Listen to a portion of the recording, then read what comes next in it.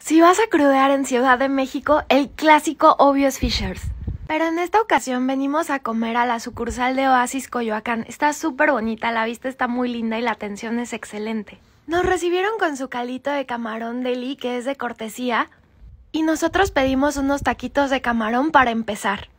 Después seguimos con un ceviche tatemado, que por mucho es mi platillo favorito en este lugar y te lo súper recomiendo si vas. Siento que su balance de sabores está perfecto y viene con tostaditas para acompañar. Trata de sentarte con vista a las fuentes para que puedas disfrutar la vista.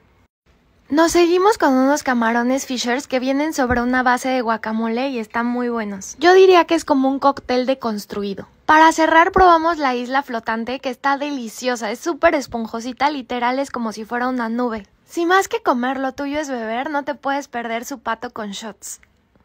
Te dejo el ticket de dos personas para que puedas revisar más o menos los costos. ¿Se te antoja?